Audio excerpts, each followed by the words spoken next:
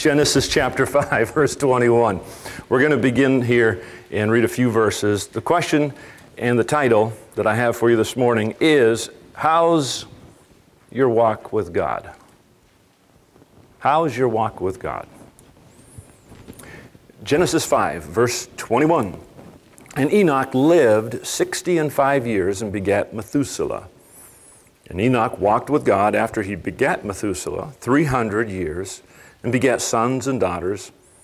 And all the days of Enoch were 360, uh, 360 and 5 years. And Enoch walked with God, and he was not, for God took him. Let's pray. Father, we do thank you that you've given us your word. And Lord, as we just start out with this uh, example of Enoch, and Lord, we'll be looking to a lot more of the things here, we just ask that you'd help us to have an understanding, open our hearts and minds to want to learn something this morning. We ask this in Christ's name. Amen. You know, I am, I'm glad and, I'm, and I realize that there are a number of people here that do really want to walk with God. That's a blessing to work with uh, many that do want to know more about the Lord and how to know Him better and serve Him better. And so that's encouraging to me, and I hope that this message will help those of you who really want to. So, what's the first thing you think of uh, that comes to your mind when you hear, when, I, when you heard that question? How's your walk with God? What do you think about when you think about your walk with God?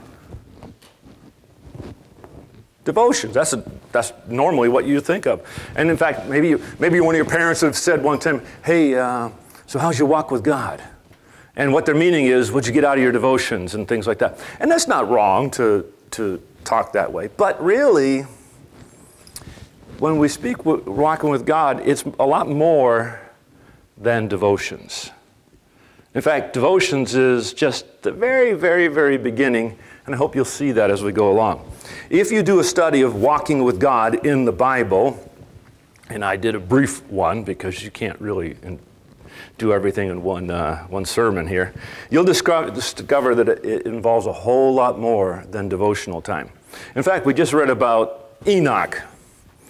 Enoch, uh, he walked with God for at least 300 years. And that wasn't meaning that he was having his personal daily devotions for 300 years. That's not exactly what he's talking about. We have a little more light on the subject uh, from Hebrews chapter 11, verse number 5, it says a little bit more about what it means to walk with God. He says, By faith, Enoch was translated. That means that he was not. We found, read that in, in Genesis 5. He was translated that he should not see death and was not found because he had, God had translated him. For before his translation, he had this testimony that he pleased God. That is the equivalent of what he was talking about back in Genesis chapter 5 walking with God. He had the testimony in Genesis 5 that he walked with God. He had the testimony in Hebrews 11 that he pleased God. So let me suggest to you then that walking with God is more, a ton more, than just having a few minutes in your Bible praying and reading, reading the Word of God. If you have reduced walking with God to a short devotional time, you've missed the whole point. That's not walking with God. That's where you begin your walk with God in the day. That's where you should begin. If you don't have your personal devotions, you really haven't even started getting up and walking with God. You've just walked without Him. You walked into a dark world without Him. And so, what we need to see is that walking with God is, is a lifestyle. It's a relationship. You know, sometimes I go for a walk with my wife around the lake. And sometimes we go for a walk to walk, but every time we go for a walk, you know what we're doing? We're talking. And sometimes we just go for a walk so that we can talk.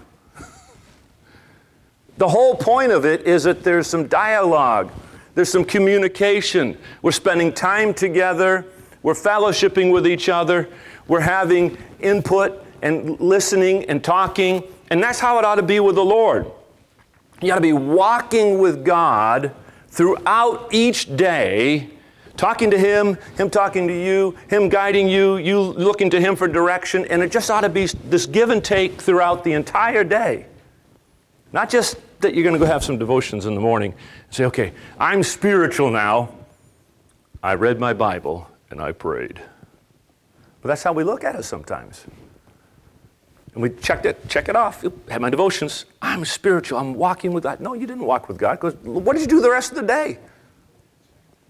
A lot of times, what you did the rest of the day wasn't actually so good, and actually doesn't fall in line with the definitions that we see from of the Bible of what walking with God really is. So we don't want to redefine what it means to walk with God to just saying, I read my Bible and I prayed a little bit. So let's see what walking with God really involves. All right? This is just a basic sermon. This is, a, this is an Andrew sermon. It's ordinary, it's nothing extraordinary. Andrew's like, I have no idea what you're talking about. That's what you are, just ordinary. And that's okay. He wasn't here on Sunday.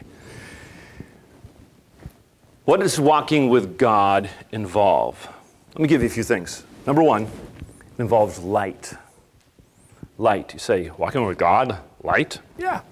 Let's look at some scriptures. I'm going to have you turn to some. You, the first one you don't have to turn to, uh, but the next one I would like you to turn to. So I'd like you to get to Proverbs chapter 4, uh, and we're going to see something out of Proverbs chapter 4 in just a moment. But in the meantime, I'm going to read a very familiar verse to you Psalm 119, verse 105. Thy word is what? It's a lamp unto my feet, and a what? A light unto my path. What's the path? That's a place where you do what? It's a place that you walk. So here we go. We're seeing right away from the scripture a very familiar verse where walking with God involves light, it involves a lamp. And what is that light? It's the Word of God. So you say, oh, so you just said walking with God's not just having your devotions. I didn't say it's not just, I said it's not exclusively and only having your devotions, but that does start with the Word of God. It does start there. God is light. And to walk in Him means that you're going to walk in light. And you've got to have the Bible to walk in light. You got to spend some time with Him in the Word so that you know what He says, so that you can be in His presence and take His Word and His commands and His precepts and His principles throughout the day and practice them and live them. A choice to ignore His Word is a choice to walk not in light, but in darkness. So I didn't have time to have my devotions today. Well, you didn't have time to walk in light. You didn't have time to walk with God. You made a choice that I am going to stay in darkness and I'm going to walk in darkness today because I'm not going to spend time with God, letting Him renew my mind, letting Him strengthen me, letting Him change me. You know, really is fun to serve God. The flesh says it's horrible. The flesh says, oh, don't do that. The flesh dreads taking up the cross, doesn't it? But God blesses when we take up our cross and follow Him. You can't follow Him without taking up the cross. So, reading the Bible helps us to stay on the right path throughout the day. How are you going to know what the right path is if you haven't, again, taken, your time, taken the time to renew your mind with the Word of God and have the lamp? And so you read something in the Word of God and it changes you. What I just talked about the cross this morning, that's something I, I read about in my devotions this morning. It's not even in my outline. You know why? Because it just, it's something that stuck with me that God spoke to me about. Take up your cross and follow me. Take up the cross.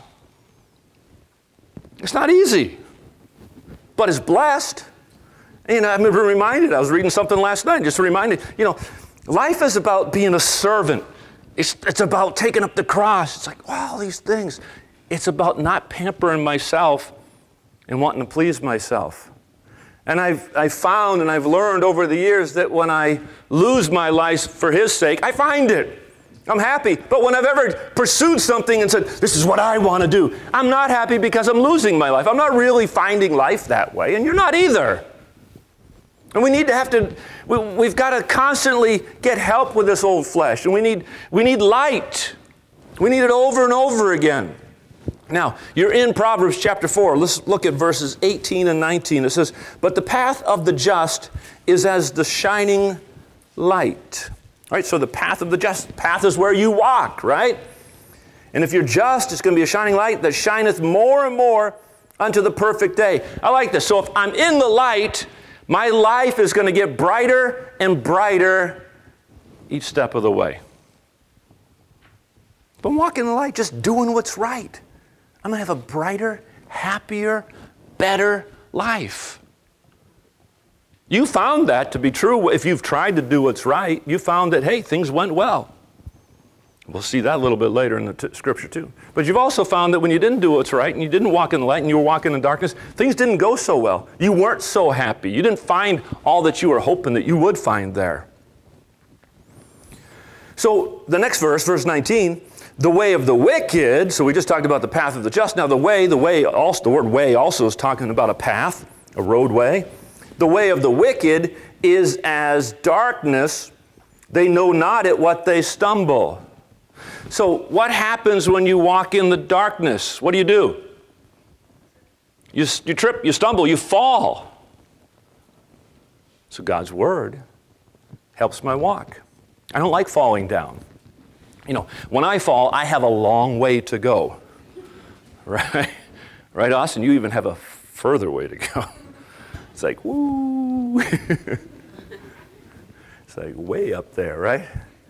I get, I get, I, I, I feel pain just looking at the ground. It's like walking down that hill when it's all icy. I'm like, okay, I'm getting old now, and I'm, I better be careful here. Oh yeah.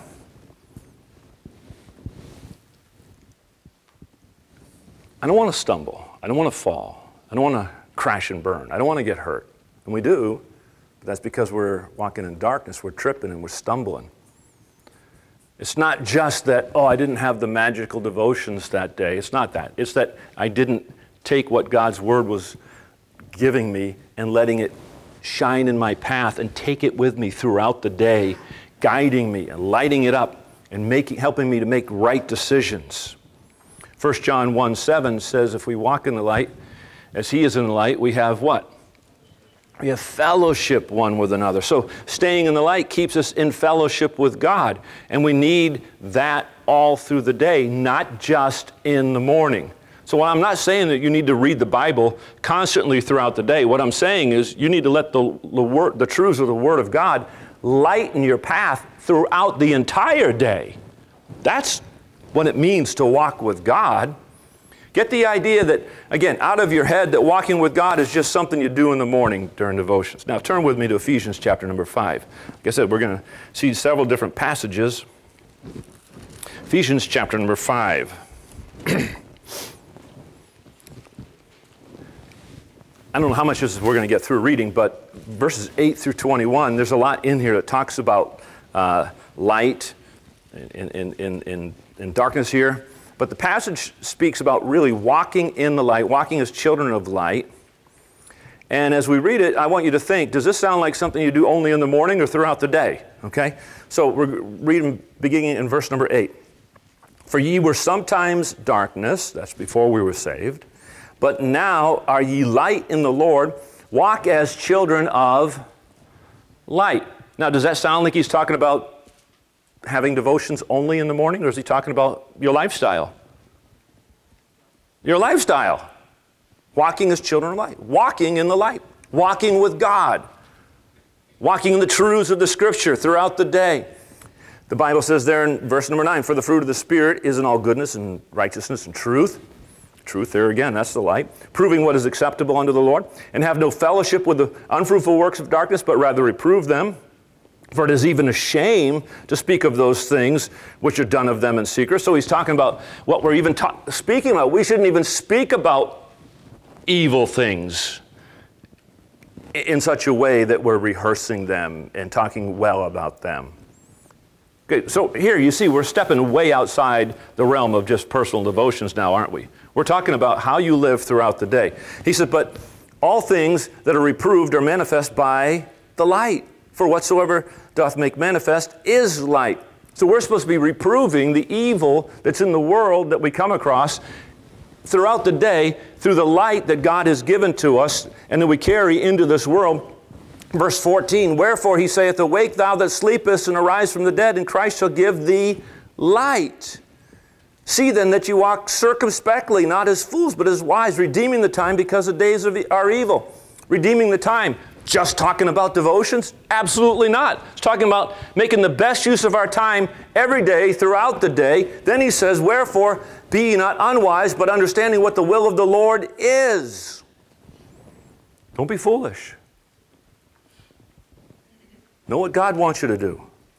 And be not drunk with wine wherein is excess but be filled with the Spirit. That's talking only about devotions? No. That's talking about your life. You're not going to be drunk at any point in your life. You should be filled with the Spirit throughout the entire day, throughout your entire life. You should be, right? Speaking to yourselves in psalms and hymns and spiritual songs, singing, make a melody in your heart to the Lord, giving thanks always for all things unto God and the Father in the name of our Lord Jesus Christ, submitting yourselves one to another in the fear of God. All these things speak of our life. So, walking as children of light, walking with God involves light. We need to get the light into our lives, we need to let it shine on our path, and we need to keep walking in that path throughout the entire day. That's walking with God. I don't I'm not going to say I don't care that you didn't have your devotions this morning. I do care if you had your devotions. I think that's a good start. But that's not it. It's just the beginning. Notice what Jesus said. I'll read it for you. In John 8 12, it says, Then spake Jesus unto, again unto them, saying, I am the light of the world. He that followeth me shall not walk in darkness, but shall have the light of life. So Christ doesn't want us walking in darkness, He wants us to follow Him. So if you're walking in light, you're following Him. If you're walking in darkness, you're not following Him live like him throughout the day. How did he live? Was he kind? He was kind to people. Are you kind to people? He was loving. He was thoughtful. He was a servant. He helped people.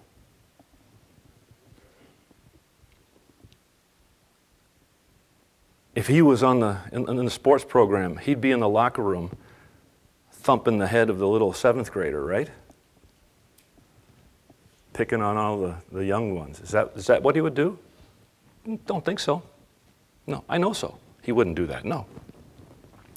He was holy, he was honest, he never cheated, he was thankful, he was pure in his conversation, never said an ill word, never lost his temper in, gut, in the flesh. He was wise. He hated sin. So if our walk with God doesn't have an aversion to darkness and desire a life full of light, then we have the wrong concept of what a walk with God is. I'm convinced there's a lot of young people who've grown up in good Christian homes and good churches. You've been taught to read your Bible, you've been taught to pray, and you do those things. You do your little ditty, you're done, and then you go live how you want to live the rest of your day because that's what you've always done. You've never fully comprehended what walking with God really is. So, walking with God involves light. Secondly, involves agreement it involves agreement. Amos chapter 3, verse 3, oh, another familiar verse. The question is can two walk together except they be agreed? No, that's the answer. So to walk with God then means to be in agreement with Him. So are you always in agreement with God?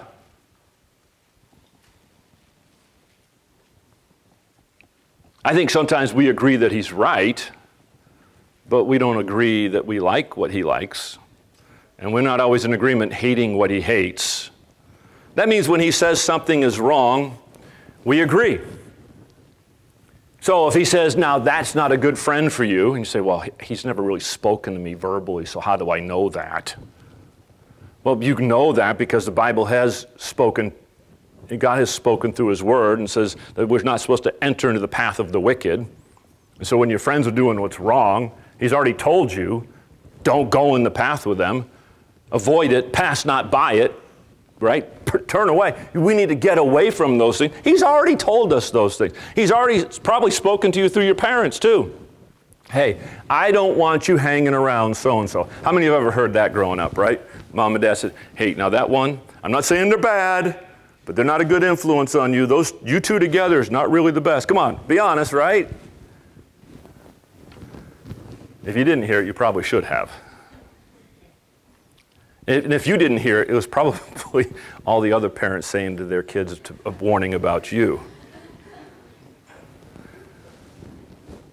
So when God says, hey, that's not the right friend, I'm not going to walk in the light,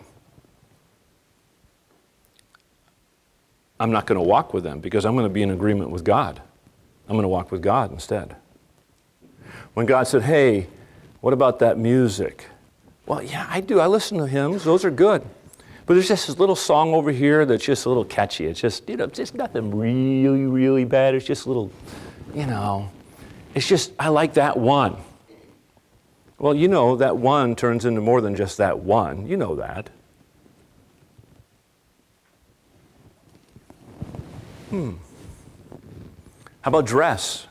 You know what you're supposed to wear, what you're not supposed to wear but I'm not in agreement. That's just what they think. Who's they? You know, you can find any, you can find someone to agree with. You know, some of you getting ready to graduate from Bible college. It's like, yes. And you're looking for a place to go serve. Oh, here's a Christian school. Yes. Oh, and they don't have the same standards. I can listen to the music I always wanted to. I can wear the clothes I've always wanted to. And it's okay because the church and the school says it's okay. What does God say? Do you want to walk with God or you just want someone else to stamp approval on what you wanted to do? I don't know about you, but I would rather just make sure I'm trying to walk with God and be careful and not just find what a, a way to do what I want to do. Because I've, I've had a few years of experience doing what I want to do, and it doesn't always work out really well in the end.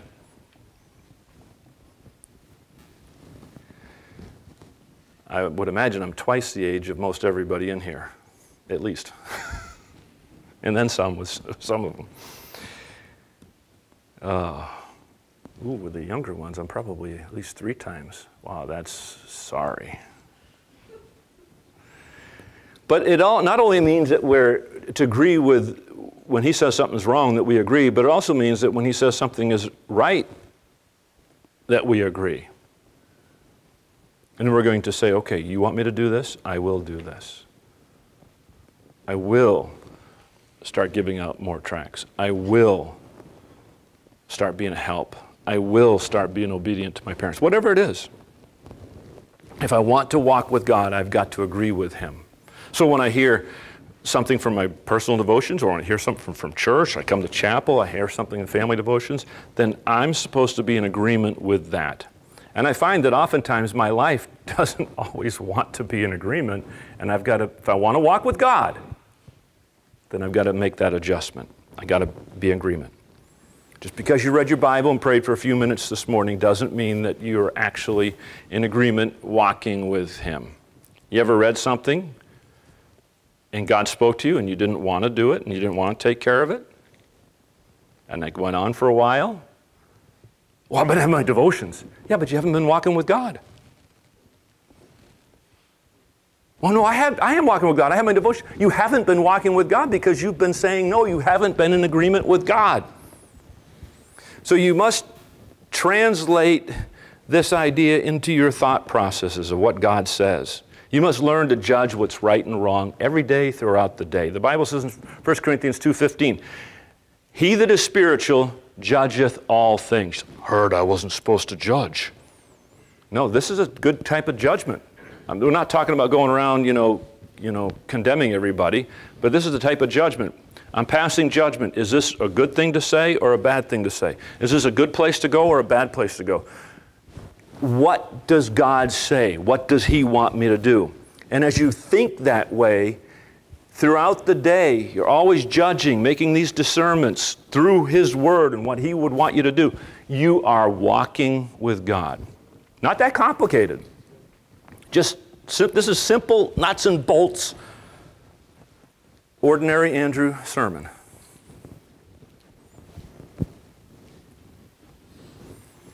So agree, agreeing with God also involves something else, though, as we're talking about being in agreement. It, it involves confessing our sin.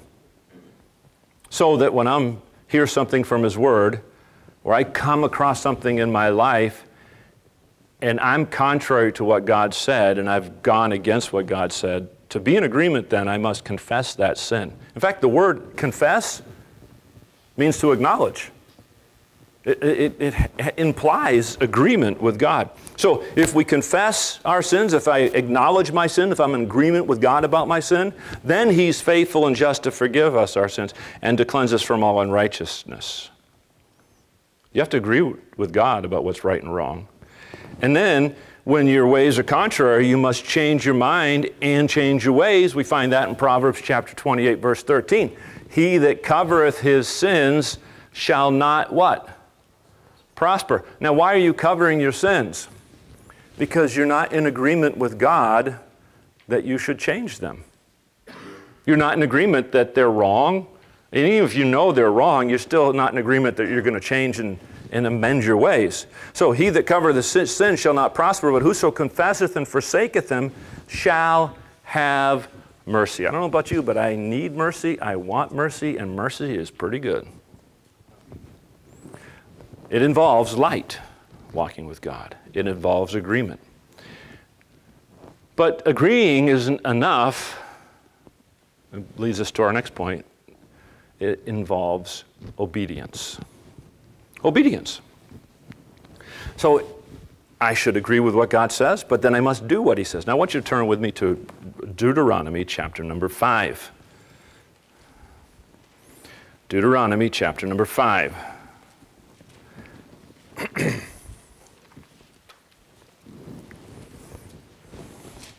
Verse number 33. The Bible says here, Ye shall walk in all the ways which the Lord your God hath commanded you, that ye may live, and that it may be, what's those next three words? Well with you. I don't know about you, but I like it when things go well with me. I want it to go well with me.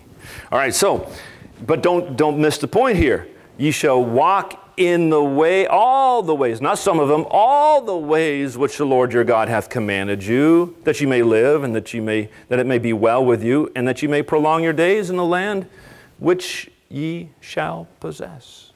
So God's blessing is upon our lives when we walk with Him, when we walk in all the ways, not just the ways that are pleasing to us, not just the times where it's convenient or comfortable, but all the ways. What about those hard ones? All the ways. And when we do all those things and, and we, we follow the Lord, then it will be well with us. Now, isn't that what we wanted in the first place? But instead, we say, Well, I want it to be well with me. I'm going to go seeking the pleasures of sin. I want to go my own way. And the own way, your own way, never ends well. It doesn't. There is a way which seemeth right unto to a man. But the end thereof are the ways of death. That's the, that's the end, and we always forget that. But when we know the Word and we study the Word and we keep reading the Word and we keep reminding ourselves of the Word, then when those things come into our, our, our, our these, these situations come across our path, then we go, oh yeah, I just read. God, the Holy Spirit brings it back to our remembrance. Yeah, you should remember this because that's your way and that's not going to end well. You go, oh, yeah. So when you come to chapel, and part of walking with God, then, you come to chapel with an open heart, looking to see what God says, and when God speaks to you, you say, Ooh, I need to do something about that. It's not just coming forward, that, that's, that's part of it, fine. Come forward and you pray, but then you get up and you go and say, I'm going to put this into practice now, and I'm going to make the change that God has spoken to me about. And I'm not going to forget about it, I'm going to keep praying about this. I'm going to put it on my, my, um, my daily prayer list. I've got this problem, I'm going to keep praying over it so that God helps me with it and we see God working in us and through us. So there's no walking with God when we're going against His commandments. Make sense? So let, us just, okay, everyone's a student here, right? So um, let's just make it practical with some everyday example, okay? God tells us to obey our spiritual authorities. Is that correct or incorrect? That's correct. Okay, so, um, you know, for those of you who are still of underage, you know, that means you are under your parents' authority. and Yeah, and I can't wait. I'm getting closer to be out from under my parents. Okay, you'll get over it. Um, so, you're still under, so you're under your parents' authority. You're under a pastor. You're under pastoral authority. You, are in school, so you're, you're under the authority of the, uh, of the authorities in the school, right? That makes sense. Hebrews 13, verse 17, you know the verse, but let's think about it. Obey them, this is God commanding, obey them that have the rule over you and submit yourselves. For they watch for your souls as they that must give account, that they may do it with joy and not with grief, for that is unprofitable for you. So if you, if you disobey the rules, just say for the school, you disobey the rules for the school set up by your spiritual authority, are you obeying God? Yes or no? No. If you're not obeying God, are you walking with God? No. It's that simple. The school has, the college has rules for dating. You can walk here, you can't walk here. You can go here, you can't go there. You can be with someone here, but you can't be with someone there. Whatever it is. The, the, the, the school, you know, the high school has rules for how you, how you conduct yourself in the classroom, how you conduct yourself in the hallways. But when no one's looking around, hey, I'm just gonna, you know, I'm just, it's just one little, it's just, and we make allowances for ourselves. But you don't understand, you don't realize. You say, I'm just, I, you know, it's just a rule. Yeah, in of, of, of some rules, I understand, are not like earth-shattering moral rules, but they are guidelines that have been established by our spiritual authorities, and when we are have a bad attitude towards them and we disregard them, we start making allowances toward it, uh, you know, to do things that are not right. We are disobeying God, and when we're disobeying God, we're not walking with Him. So you can say, I had my devotions this morning. Great. Did you keep the rules? so what if I slept in? So what if lights out? What's that? You know, yeah, I went somewhere I'm not supposed to, but you know, you're not walking with God. Well, but had to my devotion. I go soul winning. I don't care. You're not walking with God. And I'm not walking with God if I'm disregarding what God says about something. I can get up here and preach. And God might be saying to me to do something, I don't feel like doing it. I can be preaching. Yeah, I'm giving a word. But if I'm not doing what God says to do, am I walking with God? No. So this applies for all of us. So when you purposely disregard authority, you're no longer walking with God. You're walking in darkness. What happens when you walk in darkness? You stumble. Will it be well with you when you're not walking with God? No. Now, I'll just read it for you. I was going to have you turn there. But Jeremiah chapter 7, verse 23 says something very similar. It says, But this thing commanded I them, saying, Obey my voice, and I will be your God, and ye shall be my people. And ye shall, and ye will, and, and walk ye in all the ways which I have commanded you. So walk ye in all the ways which I have commanded you, that it may be well unto you. Do you get the idea that God wants us to have a good life? That He wants it to go well for us? But I want to go here. Go back to those who are graduating. I want to go here and I want to do this. Do you want it to go well with you? Obey all of God's commands, walk in the light, follow His precepts, and it will go well with you ignore that and you ignore the light of God's Word and what He's shed on it, then you're going to walk in darkness. It might be your way, but you will stumble and you will fall, and the end thereof are the ways of death. But He wants things to go well with us. Psalm, turn with me to Psalm 119.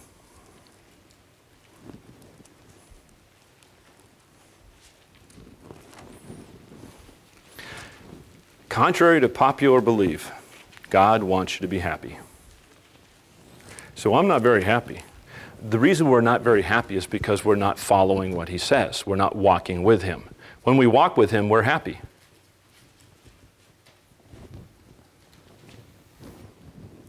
And if the things of God and the ways of God don't make you happy, you are not walking with Him. Bottom line. Psalm 119, verses 1 through 3. Blessed, that's the first word there. The word blessed means happy, okay? Blessed or happy are the undefiled in the way who do what? Who walk in the law of the Lord. Blessed, happy again, are they that keep his testimonies, okay? You're not just walking, but you're keeping them. That's part of the walking. And that seek him with the whole heart. So it's not just having a little devotional time, but it's seeking him and his ways and walking in his ways. Verse 3 They also do no iniquity, they walk in his ways. So to be happy, the happy ones are the ones who walk in God's ways. Pretty simple. Let me give you the fourth and final point. So, what does it involve? Walking with God. Light, agreement, obedience. Let me give you another one. Number four, good deeds. Good deeds. You say, good deeds? Yeah. Uh, it's not just enough for us to refrain from sin, He wants us to do some good along the way. Okay, and that's where it actually does get fun. It, it gets fun to, isn't it fun to do nice things for other people? You know it's true, but we have this aversion sometimes of doing nice things for other people because we want nice things done for ourselves. And then we're disappointed when people don't do the nice things for us. So, Ephesians chapter 2, verse 10. We all know Ephesians 2, 8, and 9. We use those in, when we quote for uh, salvation. You know, we're not saved by works. Yeah, but once you get saved, you are saved to do works. So Ephesians 2:10 it says, "For we are his workmanship created in Christ Jesus unto good works, which God before, hath before ordained that we should walk in them." So God made us to do good works that we should walk in them. Walk in what? Walk in the good work. So part of walking with God is doing good things, not to get saved, but because we are saved, because He's created us to do those things. And if we're walking with God, our steps are going to lead us to do good things everywhere we go, around the people that we meet, whether they're lost or whether they're saved. Walking with God implies that we have manners because that's just being good. It implies that we're going to be polite. It implies that we're going to avoid saying cruel things to other people. You know, some sarcasm, let me say it this, rephrase it. A lot of sarcasm is way out of line. So, yeah, but we're just like sarcastic around here. Yeah, and a lot of the sarcasm around here is way out of line. It's not Christian. Yeah, but you know, everyone's sarcastic. I'm sarcastic. But we have to be careful that it doesn't cross that line.